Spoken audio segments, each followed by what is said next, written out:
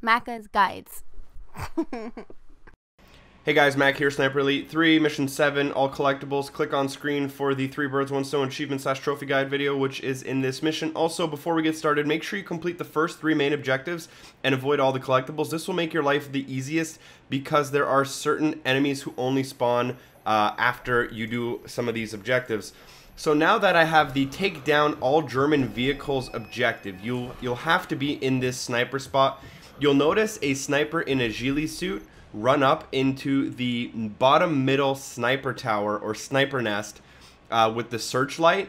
And uh, sorry for the slightly reduced quality of video. I had to take this off of my Xbox's DVR because my capture card broke. Um, but after that objective comes up on your screen, you'll have like three or four German tanks rolling around.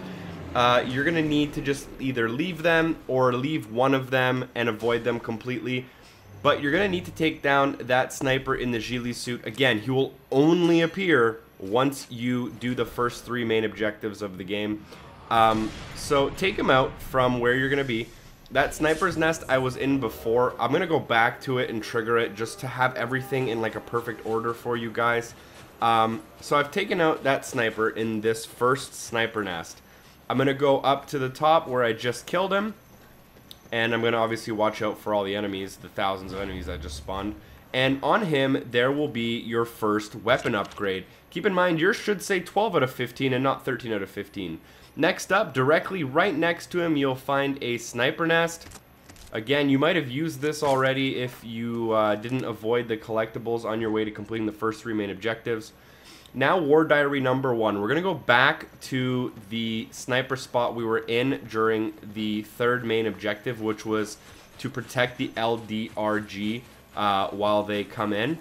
Um, so, I'm going back to that location. This is where the map's actually going to want you to go for one of the main objectives.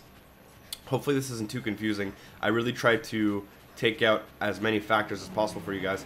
Right there, you will find a War Diary.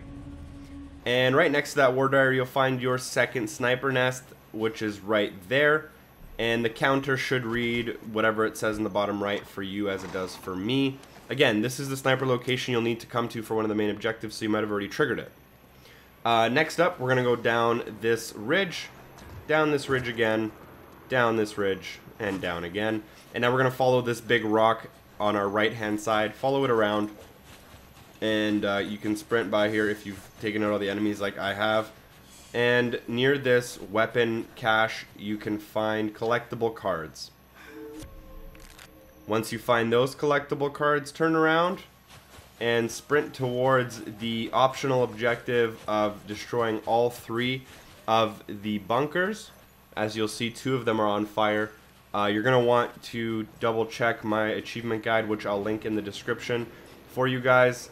Um, but anyways, in this middle tent, make sure you pick up the collectible cards across from the optional objective of destroying the three depots.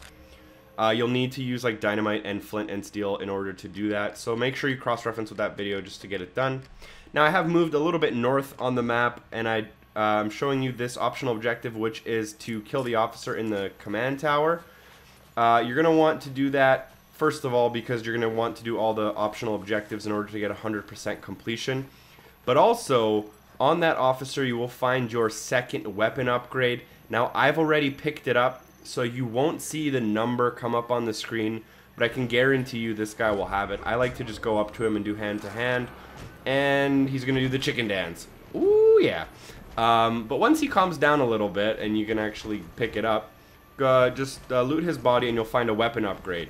Directly next to him, you can find a war diary, and that's going to be your second war diary, your eighth collectible. Now moving down kind of to where we came from a little bit. This is the better, the best order to do it in, in my opinion, uh, for a variety of reasons. You don't want to get spotted while doing the long shot. Um, take out a guy if he gets in the way. I don't know where he came from because I cleared out the area. And if you make your way to that corner away from this command post where we just killed the officer, you'll find a few things up here. First of all, slightly to the right of the sniper's nest, you'll find a war diary sitting on the rock. Next up, you're going to want to get in the sniper's nest. And obviously, because this is the last sniper's nest and we don't have the long shot, we're going to have to do the long shot. This is, from what I can tell, the longest long shot in the game, clocking it around 620 meters. If you shuffle back a little bit, you can get even further, and uh, you can basically get like the world record for longest long shot in the game if you do it in this spot. Uh, line up that guy right there, and uh, as you can see, he's kind of at the very top of those sand hills across the map. And once you line up the shot, make sure you shoot him. Obviously, make sure it's a, a deadly blow and not just like a hip shot. That won't kill him. And once you get the long shot confirmation on the right hand side, you're good to go. Now I have moved to the west of the map or the left hand side um, just using the map because I don't need to show you guys the entire map.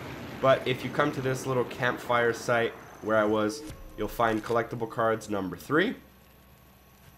Now if we back up, the rest of the collectibles are all inside the two main buildings in the middle of the base or underground underneath them.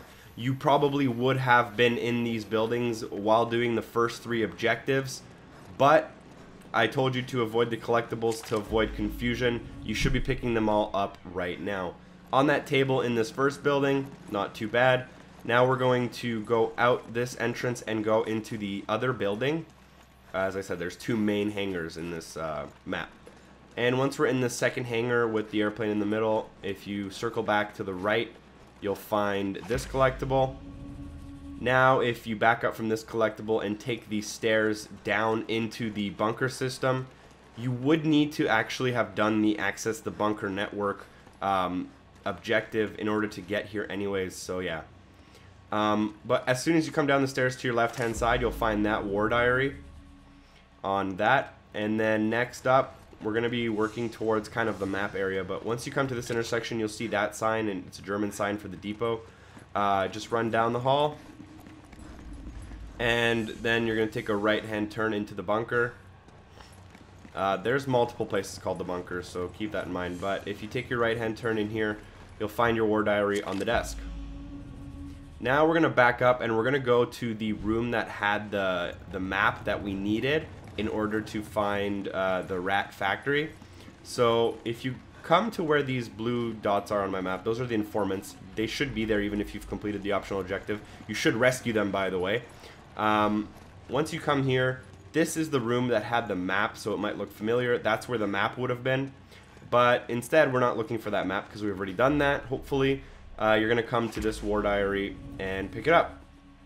Now, the last collectible, War Diary number 9, collectible 18 out of 18. Follow along, turn right into this bunker slash depot. There's the two signs. Um, run down, run down at the end of the hall, take a left. I don't even know if you can actually go anywhere else. And you should find your collectible right there on the crate. That's all 18 of 18. Make sure you like the video and subscribe for more content similar to this. Feel free to click on the screen or see the description below for Mission 8 Rat Factory. And feel free to use this screen. Thanks for watching, guys, and hopefully I see you next time. Peace.